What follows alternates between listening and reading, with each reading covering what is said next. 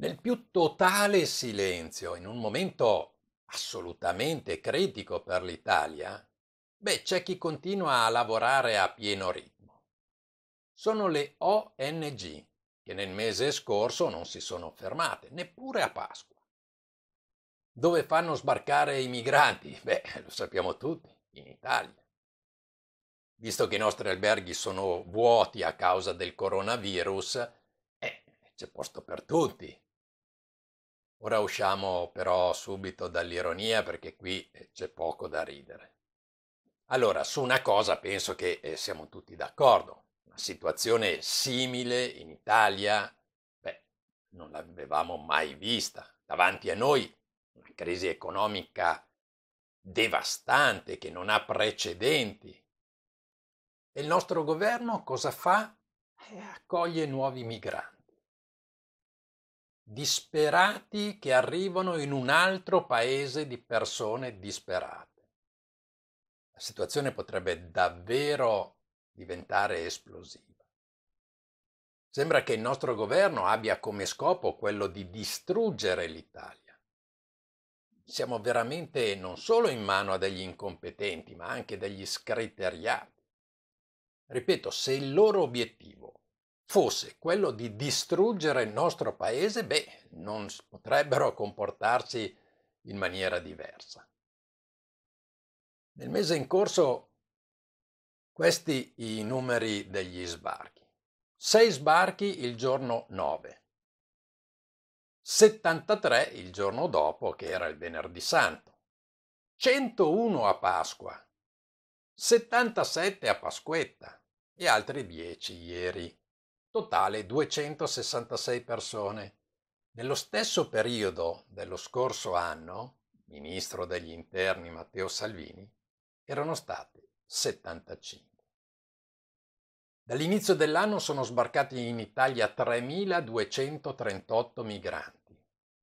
Erano stati soltanto 625 nello stesso periodo dello scorso anno. Quindi Quest'anno abbiamo avuto un incremento del 418%. Queste sono le sole, sole statistiche in cui l'Italia ha il segno più. E che segno più? Più 418%. Ma attenzione perché questi numeri sono destinati ad aumentare anche a breve, visto che prossimità delle nostre coste c'è la Alan Kurdi, la nave della ONG CI che trasborderà 150 migranti a bordo di un'altra nave dove i migranti dovranno trascorrere la quarantena prima dello sbarco definitivo, almeno così sembra. Naturalmente tutte queste operazioni ci costano un sacco di soldi e la situazione sociale potrebbe davvero degenerare. Sentite cosa hanno sottoscritto 12 sindaci delle città siciliane che si affacciano sulla costa meridionale appunto dell'isola. Stiamo parlando di Ragusa, di Pozzallo, di Scicli, di Comiso, Ispica, insomma. Ebbene, una lettera inviata al Premier Conte e alla ehm, ministra Lamorgese, da questi 12 sindaci, in questa lettera tra l'altro si legge la paura della malattia, le limitazioni delle libertà personali e gli effetti già lancinanti della crisi economica stanno alimentando una crescente rabbia sociale a cui è necessario negare ogni nuovo possibile appiglio. E certamente il termine rabbia sociale non è esagerato. Non so se i vertici del nostro governo abbiano inteso a quale livello di sofferenza siano arrivati gli italiani. Questa della Alan Kurdi, nave che sappiamo battente eh, bandiera tedesca, della ONG CI, eh, questa è una storia incredibile. Il nostro governo aveva cercato così di chiedere aiuto alla Germania, visto la grave situazione sanitaria nella quale si dibatte il nostro paese. Il ministro degli interni tedesco, così aveva almeno a parole invitato il comandante dell'imbarcazione a fare rotta verso un porto sicuro tedesco. Ma il comandante dell'Alan Kurdi non lo ha minimamente ascoltato, se n'è strafregato e al solito ha fatto rotta verso la Sicilia.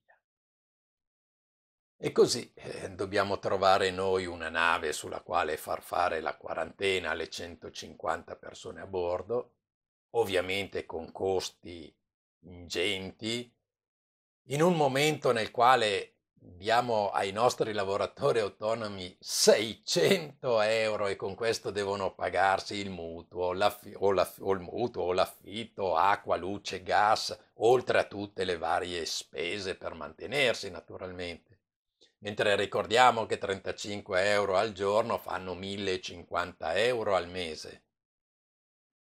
Queste sono cose che non si possono giustificare. Veramente solo chi vuole male all'Italia può governare così il nostro paese. Da sottolineare poi che la malafede degli organi di disinformazione di massa, beh, è sotto gli occhi di tutti. Queste notizie infatti non trovano spazio sui media mainstream, mentre dovrebbero essere divulgate come. Ma il paradosso dei paradossi è che la nostra magistratura invece va ad indagare in regione Lombardia. Cioè, veramente incredibile. Con tutto quello che, che eh, cioè, tutto il bene che ha fatto quella regione che meriterebbe davvero una medaglia al valore. Pazzesco, veramente pazzesco.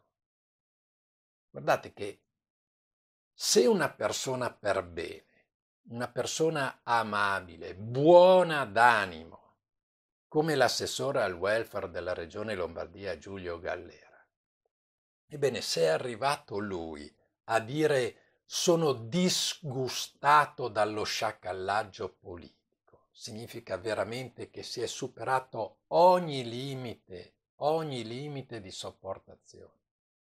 La Lombardia ha fatto ciò che nessun'altra regione, ma non in Italia, al mondo avrebbe potuto fare, nemmeno la Baviera, ne sono certo. I Lombardi hanno dato una prova straordinaria lavorando 20 ore al giorno in condizioni quasi estreme e con un governo centrale che remava contro. Giulio Gallera deve diventare il nuovo sindaco di Milano. Milano da anni non ha più un sindaco veramente ben voluto dai milanesi e Giulio Gallera è veramente una persona per bene. In Italia eh, lo sappiamo che vengono premiati i fanfaroni, gli sbruffoni e i millantatori. Ne abbiamo conosciuti a Iosa. Però adesso è venuto il momento di cambiare. Abbiamo bisogno di persone serie, persone oneste, persone che lavorano per il bene della comunità, insomma, persone come Giulio Gallera. Ora, anche la Lombardia è pronta per ripartire. È necessario. Il paese ha bisogno che la sua locomotiva si rimetta in moto. Io naturalmente capisco eh, l'emergenza sanitaria, ma eh, come ha detto anche il governatore veneto Luca Zaia, eh, dobbiamo cominciare a convivere con il virus. Se dovessimo eh, attendere ancora, la situazione si farebbe veramente catastrofica. E poi non abbiamo bisogno dei Colau, di quella gente lì che viene dal Bilderberg. Abbiamo solo bisogno di tornare alla normalità. Ormai la fase più acuta è alle spalle, ciò che andava fatto è stato fatto e non possiamo aspettare gli zero contagi. Se attendiamo ancora, la popolazione eh, si farà strada prima l'angoscia, e poi la disperazione, perché dopo aver perso il presente, ricordatevi che la cosa peggiore è non vedere il futuro.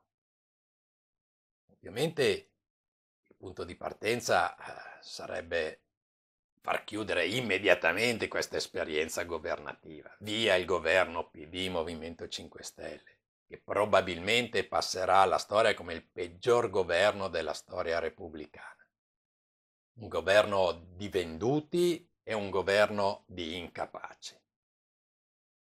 E quanto sta accadendo in Europa è l'esempio più eclatante. Ora voglio proprio vedere come andrà a finire questa storia del MES, perché lì potrebbe davvero la nostra Italia toccare il fondo, ma e poi risorgere ovviamente. Insomma, noi speravamo che la vicenda eh, migranti potesse darci perlomeno un po' di tregua almeno in questo momento, ecco, un momento davvero difficile per il nostro paese. Non è così. L'Italia continua essere trattata come, come un campo profughi. D'altronde, eh, con, con i governanti che abbiamo, un po' ce lo meritiamo.